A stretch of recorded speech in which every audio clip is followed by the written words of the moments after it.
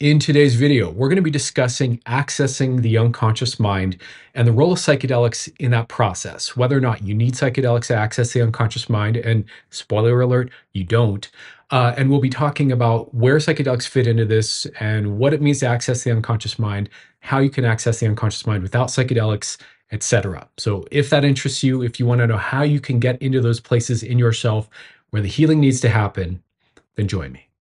Okay, so let's just get right into it here. So, I want to start off the bat here with a really important message for you guys, which is that I want you to understand that if you're someone who thinks you need to take psychedelics so that you can access your unconscious mind, so that you can get into those places wherever the repressed wounds are and process them, I want you to understand that that's simply not true.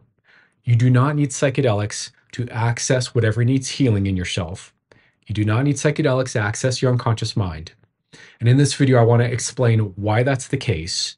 And I want to help you understand a little bit more the relationship and the role between the unconscious mind and healing and psychedelics. Okay. So, but if you're not going to watch the full video, because I know I ramble, maybe you don't like my presentation or whatever, just take this message with you. You do not need psychedelics to access your unconscious mind.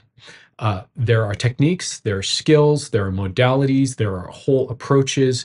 And really, when you understand that, you can access what needs healing you know when it's appropriate to do so so that's my message to you i hope that makes sense so with that being said let's unpack this a little bit further and by the way, really quick, just want to say, bear with me today. I'm a little bit brain foggy as I'm shooting this. So if I ramble a little extra or I'm a little grasping for words, hang in there with me. I'm doing my best. Okay.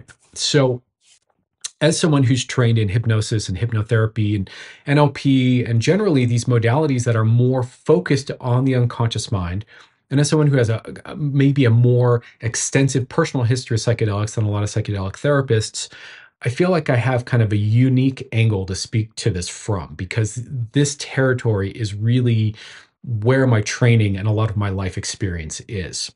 So, like I just said in that last section, I really want you to get that accessing what needs accessing is not just a function of taking a psychedelic. You don't need a psychedelic to get there at all.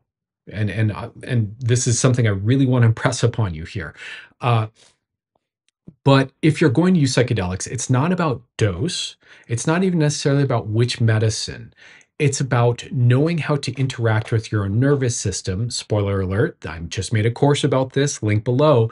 It's about knowing how to interact with your nervous system in the right way. It's about the right approach, the right relationship to the parts of us that are holding the content so that the, these parts of us feel safe enough to open and start to share whatever the wound is and start to move whatever the held energy in the wound is. I hope that makes sense so far. So, accessing is more about our relational approach, about building trust with these parts of ourselves, about sending safety signals to these parts of ourselves, about helping the parts of us that are carrying the wound feel like it's a safe space to unfold and unpack whatever that is, much more than it is about hypnosis techniques or uh, therapy techniques or you know cognitive techniques or even psychedelics. It's it's the psychedelics do kind of facilitate seeing this stuff more clearly. It kind of makes it more vivid. It's like turning up the saturation and brightness on these low level signals in our nervous system.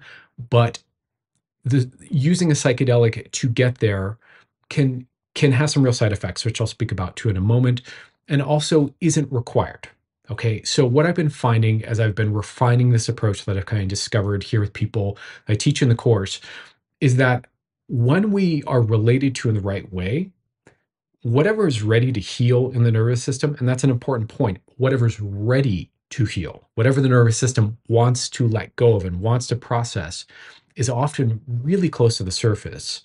And it is, you know, often once that safety signal is there and it's ready to go, it'll start releasing it, it'll start unpacking it. It's really, really common for me in sessions with clients for them to go, I have no idea where this is coming from. It's just bubbling up. I'm suddenly having epiphanies. I'm suddenly having memories. I'm suddenly having things move. Where did that emotion come from? And it's like the thing just starts moving with the right inputs.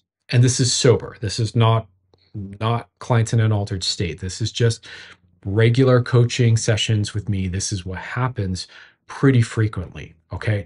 So there's a relational approach that we have to get right that creates the right safety conditions for the unconscious mind to go, aha, this is a good moment for me to open up and start to move this, right? And it will start to move and it'll start to self heal, right? So I really want you to understand that it's not about dose, right? It's not about which medicine, right? But the medicines do make it more vivid and they do sometimes facilitate a softening or smoothing, right? So I've said this in other videos. I'm sure I'll say this more, and I'll probably say this more explicitly in a video.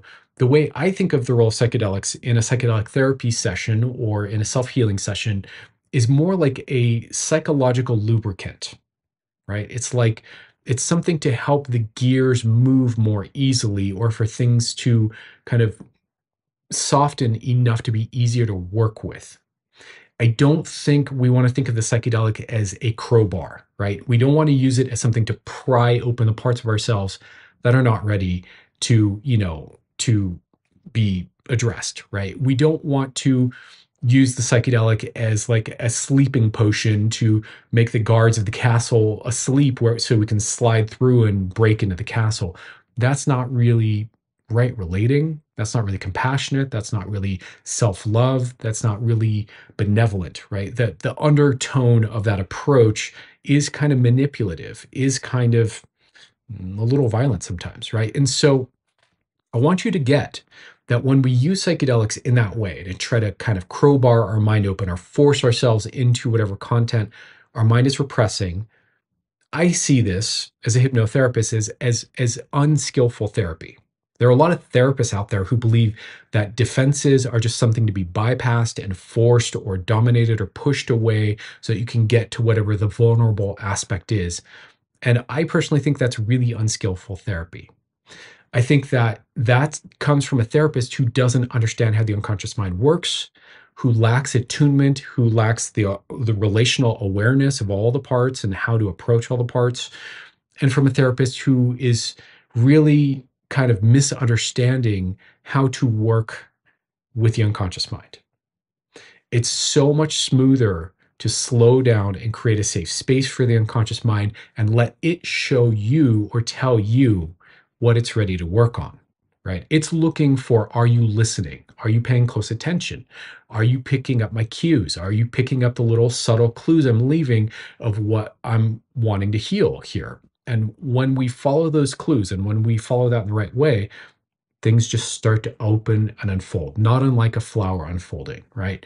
So, this is a metaphor I use a lot with my clients. You know, that unskillful therapy approach of crowbarring your way into the unconscious mind, it's kind of like trying to rip a flower open before it's ready to bloom. And if you do that, obviously you destroy the flower, you get no fragrance out of the flower, you don't get the full color and beauty of the flower, you get a premature flower that's now kind of, you know, ripped apart, right? It's a bit of a brutal metaphor, but that's kind of how I see this approach of trying to crowbar your unconscious mind. Instead, it's much more about right relationship. Okay, so I've kind of peppered this all in in my description here, but hopefully so far this is starting to make sense. With the right relational approach, you don't need psychedelics to get at your unconscious content that needs healing. You can do that sober you can do that uh, awake too. You don't even need to go into a trance and be in an altered state of consciousness. You can do that through a conversation with the right attunement, the right relational approach, the right attention. Okay, so hope that makes sense. So that's the first point I want to make here. Second point I want to make here is psychedelics, yes, are useful for amplifying the unconscious mind, right? And kind of turning up the brightness, turning up the saturation, making it more vivid and clear what's happening in the more subtle layers of our nervous system. But we want to use that skillfully. And really, I think of psychedelics again, another point here as lubricant, right? It, they're not, it's the psychedelic isn't the thing that does the therapy, it's the thing that facilitates therapy going more easily if that makes sense, right? So, but with a right approach and this lubricant, things can be very smooth and things can unfold very easily, right? Uh, I also think that, again, someone who's trying to crowbar their way past the defenses is coming from a wrong relational approach and very likely to do damage. And I think of this as unskillful therapy, quite frankly, just from my point of view. Uh, some people would say, well, you know, you're not a licensed therapist. How dare you have that opinion? Fair enough. Fair enough.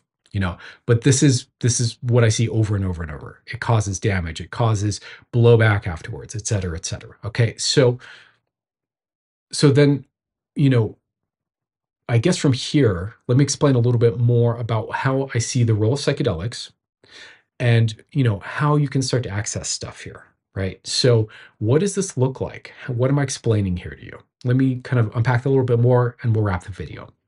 Sorry about that. I lost my train of thought there for a moment. So i thought it'd be interesting to share with you guys a bit of how hypnotherapists think about the unconscious mind or at least some hypnotherapists it's uh, hypnotherapy is a whole huge field with multiple schools of approaches and thoughts and different styles just like any other form of therapy so I want to be clear that not every hypnotherapist thinks this way, but this is the way that I really like to think of it. And it's a very simple way of understanding the unconscious mind, as was taught in a course to me by one of my heroes, John Overdurf, who is a master hypnotherapist. So the way he describes it is very simple. Basically, everything that you're currently aware of, that you're currently thinking about or paying attention to, is your conscious mind. That's what's in your conscious mind all the other information that your nervous system is experiencing and processing that you're not currently paying attention to is by definition your unconscious mind. And so it's almost like there's a filter outside of which is all the rest of the data that we experience, and that's our unconscious mind. And then there's whatever is inside that filter, which would be what is in our conscious mind or our conscious attention, right? So the unconscious mind includes all the things that are happening biologically in your body. It includes all the memories that you're not accessing, but your kind of brain is in touch with or is has available. It includes dreams, projections, misunderstandings. It includes body sensations. It includes everything that you're not focusing on. Let me give a little example here, a little hypnosis, like just a little playful moment together. So I, I'm about to mention something right? So, and you it will be in your unconscious mind until I bring it to your attention here. So I want you to just notice right now the feeling of the bottom of your toes. Right? Assuming you have toes, and if you don't have toes, notice the feeling at the back of your hands right now. Right? Now, before I bring this into your awareness, that's in your unconscious mind.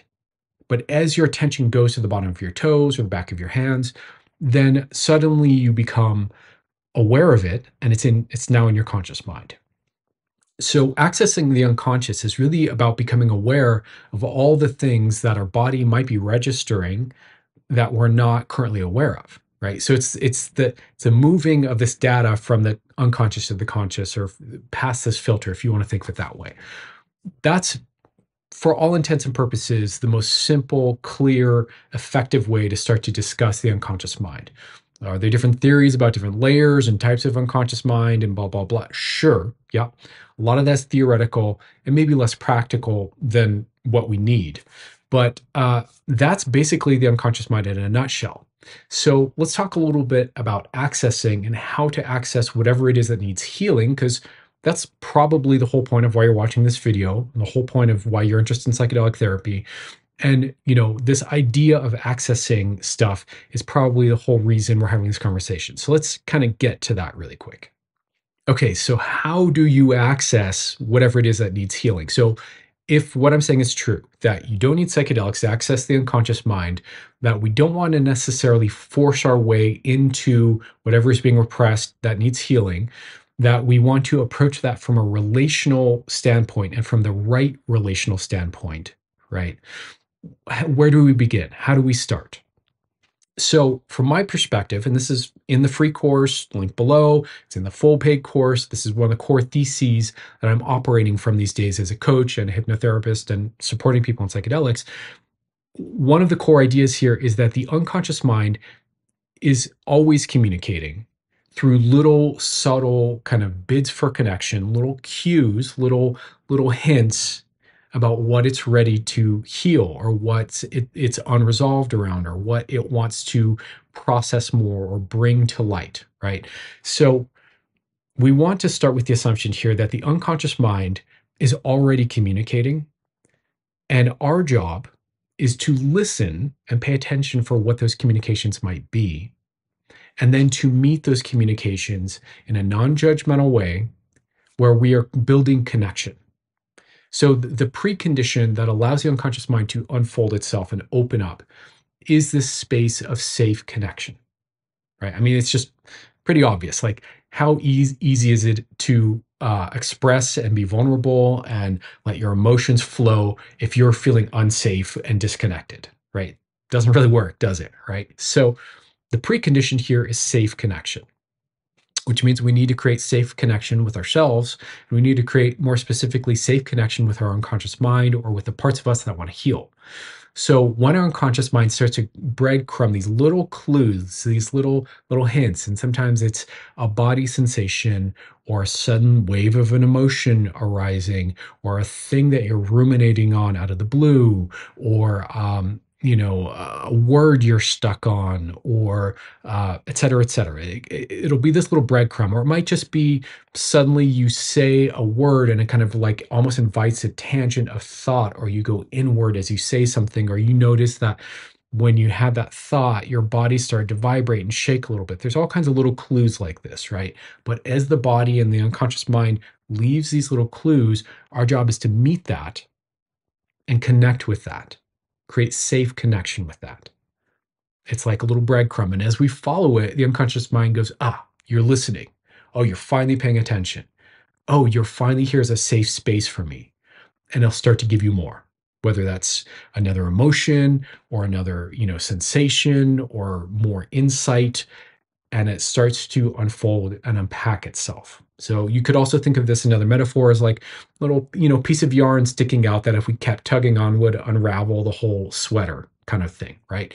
So we're looking for these little threads, these little breadcrumbs, these little clues, and engaging with that in a really safe, respectful, attuned way.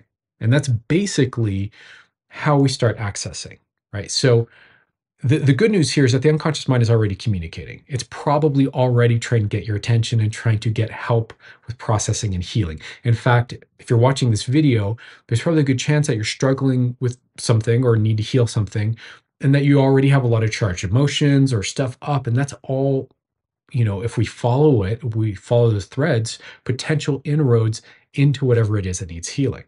Right. So it's so much closer than we think it is. That's the, really the good news here. Um, but we basically follow these clues. We follow these threads into the somatic, into the emotional, into the cognitive loops or whatever it is. We start tracking that stuff. And as we start tracking that stuff, things start to get clear. They start to move. They start to process. Other layers start to rise, new thoughts, new emotions, sudden shifts into a whole other thing that, that was different than the thing we thought it was, etc right? And this is really how we kind of skillfully, in my opinion, get to whatever that core material is that needs healing. Uh, psychedelics facilitate this process. Psychedelics do make this easier, do make this more obvious, but also the other side of that's true that because psychedelics can cause a lot of distractedness and a lot of kind of tangential thinking, nonlinear thinking, uh, can cause a lot of kind of associative thinking to other things. It's also easy if we're not careful, if we don't know how, to lose the thread and end up on some whole other tangent of thought and basically kind of lose the ability to stay in connection, communication with what's being shown or expressed, right? So there's a certain skill here. There's a certain feel, a certain flow that you have to get the feel for to be able to really do this. But if you do this, it works, like I was saying at the beginning of the video, both sober and on the medicine, right? So this is kind of the how. Um, if you want to know more about this, uh, you can, of course, reach out to me, inquire about coaching. I have very limited spaces right now, but if if you feel called, you know, get in touch or check out the free course, which is four hours of kind of framing of of what I'm describing here and under, understanding this kind of structure more properly. And if you really feel called to learn the whole thing and really learn how to self heal, I've got a full course that's in process that's available at, for pre-sale right now, and you can click on the link and check that out too. So I think we're going to wrap the video here. I've yammered on enough. Hopefully this makes sense. Let me know, does this resonate? Does this hit home for you? Does this clarify? Does this open up an aha moment for you? Leave a comment down below. Uh, I, I, really value interaction with you as an audience. And so uh, I really want to know how this lands for you. So anyways, I'm going to go. I got to go work out and take care of myself before a client. Much love to you. I hope you're well. I'll talk to you guys soon.